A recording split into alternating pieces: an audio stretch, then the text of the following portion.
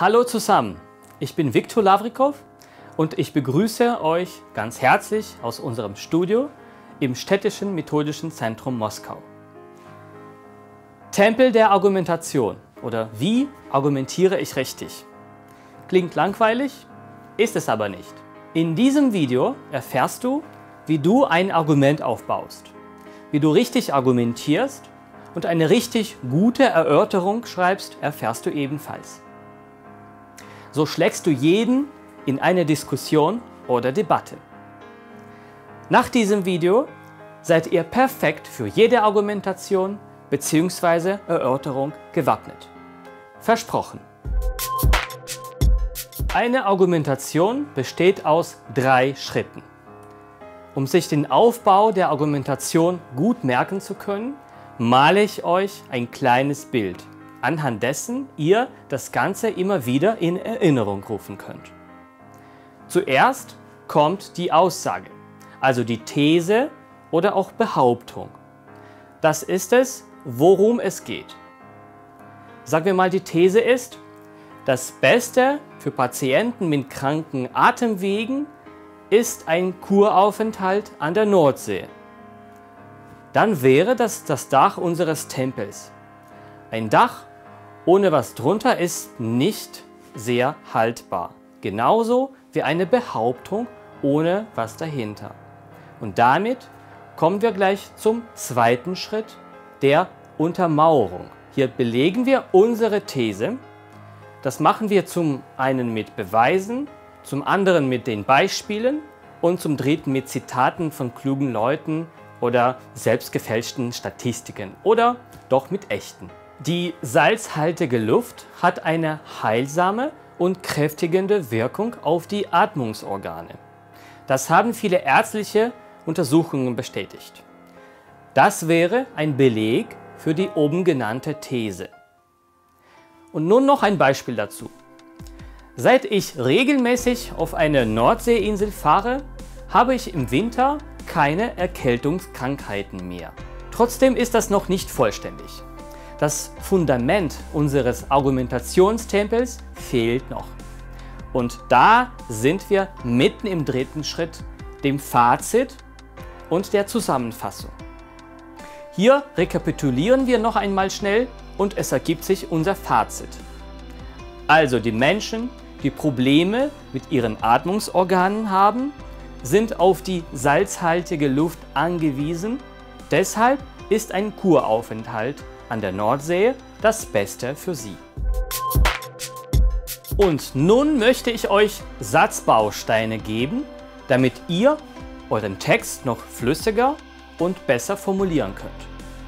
Das Ganze bauen wir in einer Argumentationskette auf. Wir beginnen mit These bzw. Behauptung. Wie kann man die These bzw. die Behauptung des Textes formulieren? Dafür kann man Sätze verwenden wie Man kann davon ausgehen, dass Weiterhin ist es zu beachten, dass Außerdem ist festzustellen, dass Bedenkenswert ist auch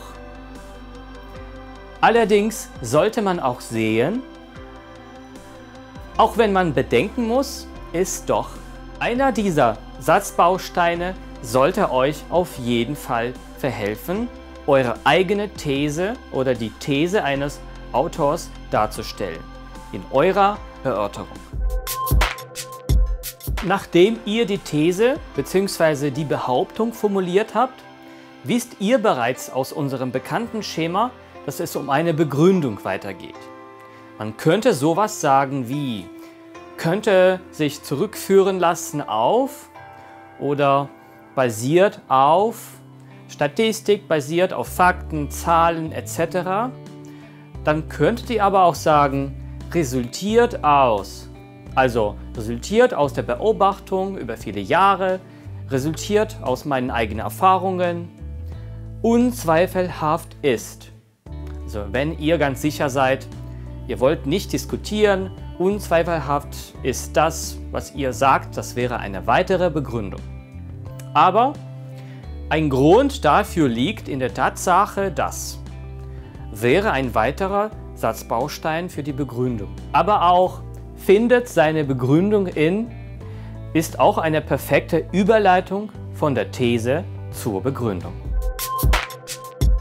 Machen wir weiter mit dem dritten Schritt, in dem es darum geht, Beispiele zu formulieren bzw. in die Beispiele überzuleiten.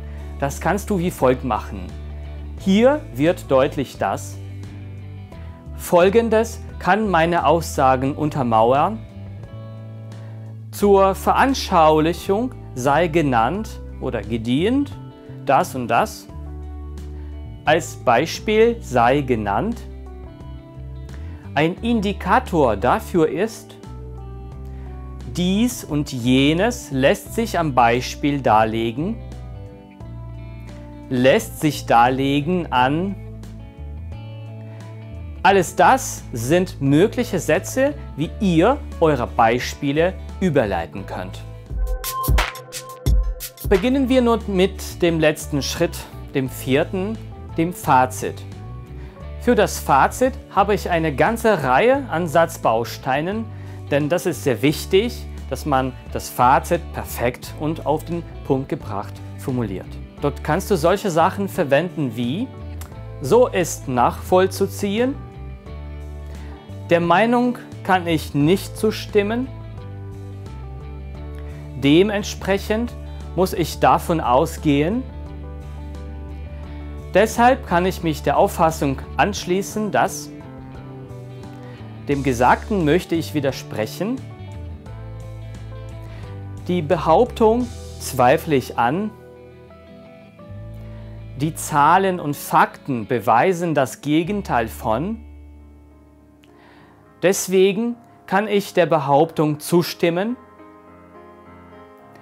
Ich bin mit der Behauptung nicht einverstanden. Die Bedenken kann ich teilen. Auch der Experte XY führt an, dem Gesagten stimme ich zu. Also jetzt will ich keinen Punkt machen, dem Gesagten stimme ich zu, Punkt. Sondern dann natürlich noch eine Begründung im Fazit anführen. Ja, und das sind diese vier Schritte und die perfekten Überleitungen von Schritt 1 zu 2, zu 3 und zu 4 findet ihr hier. Die könnt ihr euch gerne einmal abschreiben.